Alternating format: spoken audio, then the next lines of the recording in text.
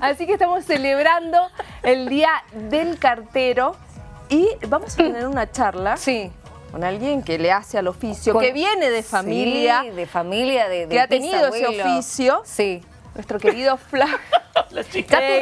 No. Flavio, Ay, ¿cómo sí. estás? Perdón, bien, bien, bien, bien, bien. La gente Eh, te dice por la calle Flavio, Flavio. Sí, todavía seguimos con el tema del ¿Sí? temblor, así que a puro movimiento.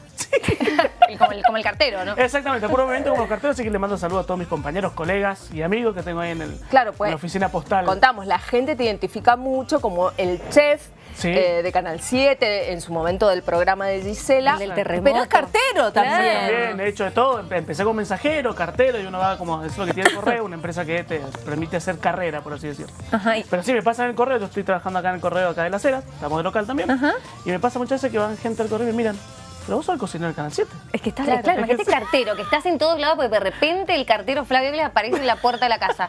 ¿Haces eso? Exactamente, a eso sí lo hacía antes. lo ahora no. Ahora estoy dentro de una sucursal.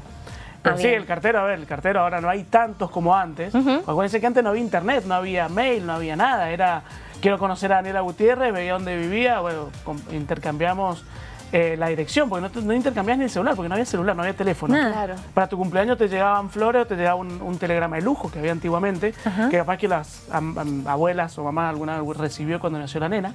Que Claro. te mandaban un telegrama de lujo en una hoja grande, escrita puño y letra por la persona del correo, que tenía una letra tipo letra dibujada que se hizo, tipo gótica, viste, así muy bien, con firuletes, flores, cosas así.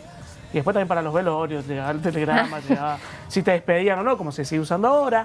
Pero sí, el correo, imagínate, de 1771, era un tal Bueno, Ramírez. ¿te sabes la historia? Empezó, fue el primer chasqui, sí. No Es te la soy- vamos a preguntar Les igual. cuento, también estoy de, como decían ustedes recién, soy de familia postal. Claro. Por mi papá, mi papá por su tío, que sería mi tío abuelo, y por su abuelo. Y después está para atrás seguramente también, pero... ¿Y para adelante? Y ¿Qué pensás? ¿Que puede seguir? ¿Y si tengo algún hijo por ahí? Por ahí. Por ahí uno nunca sabe.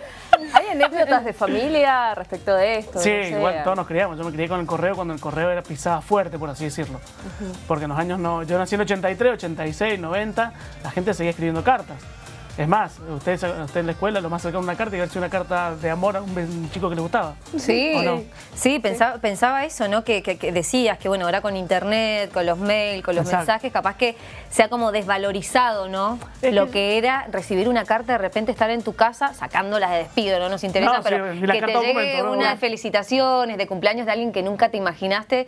Qué lindo que pasaba eso y capaz que ahora, bueno, obviamente por todos los avances se ha perdido un poco. O sea, un poco, bastante. montón, en realidad. claro. Sí, antes vos hasta veías la letra que tenía la, la persona. Claro, la, la tarea Le mutó. Exacto. La, la- ahora que la gente ni escribe WhatsApp.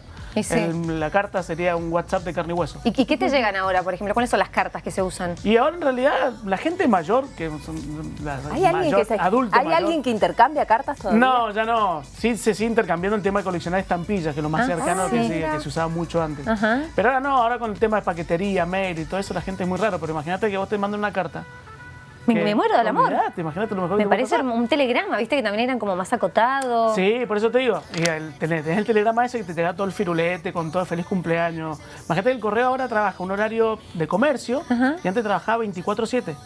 Cuando habían tele- como no, había, no todo el mundo tenía teléfono, también te, te llegaba el mensajero con el telegrama a las 3 de la mañana. Claro. Por una noticia urgente de, de algo.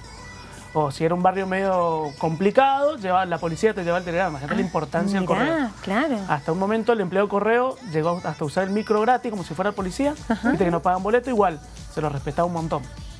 Es que Así sí, que sí. es y antes era, el chasqui, tenías el chasqui, que fue el primero que decía recién justo Mari, que era el que iba de- el chasqui como el que iba de postas llevando los sobres.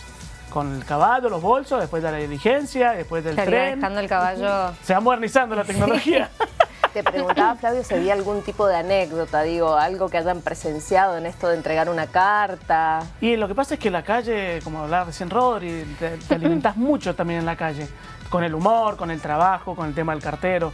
A veces te recibí gente, antes el cartero era como parte de la familia. Antes había un cumpleaños, pasaba un evento, algo, lo invitaban al cartero, porque el cartero lo veían todos los días. Claro. Te traía, no era solamente la factura de luz, gas, agua.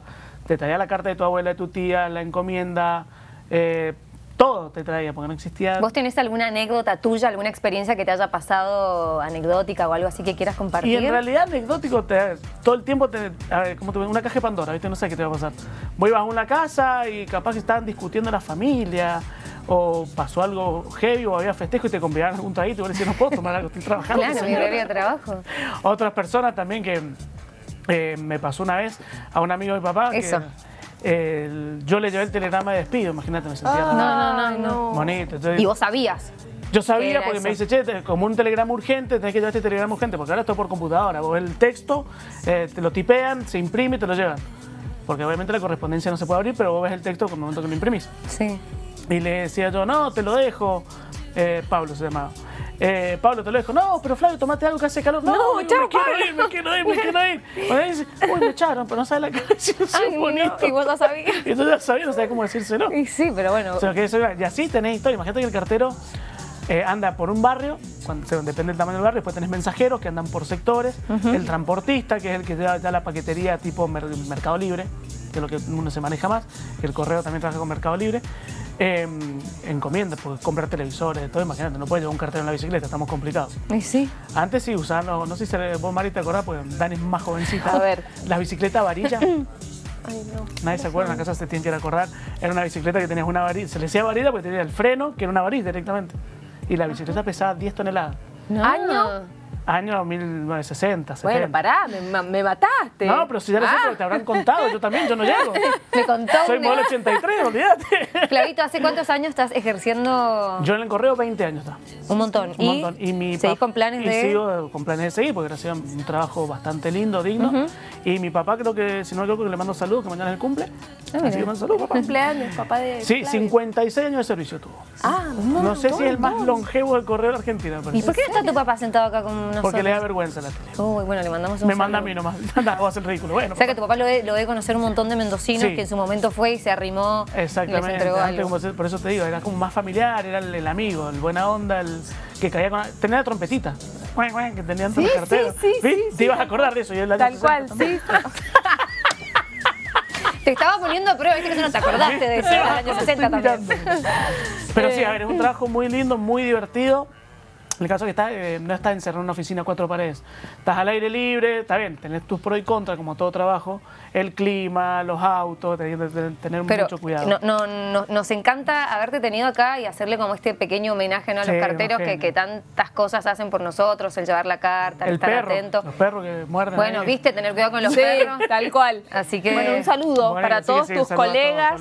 Yo estoy acá en la acera, pero bueno, paso por varios correos, varias sucursales. Ha pasado por todos lados, Flavio. Impresionante. Roberto Gracias. Flavio, por Chicas, a venir. ustedes por la invitación, Gracias. Flavito.